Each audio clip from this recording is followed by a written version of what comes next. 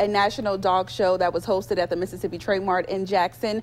Owners showed off some of the best breeds during the four-day event. Take a look. More than a thousand people signed up to be contestants, hoping their dog would win the title. Some of the owners traveled across the nation to participate. Each dog has some a, a standard that they have to conform to, and the judges know what that standard is, and it's based on obvious appearance, but also movement and things like that. So when you see him walking around, the judges are looking to see movement, and you can tell the soundness of a dog by the way he moves. Some of the owners have been participating in dog shows for more than 20 years. That is most of my life. Others are teens just getting into the competition.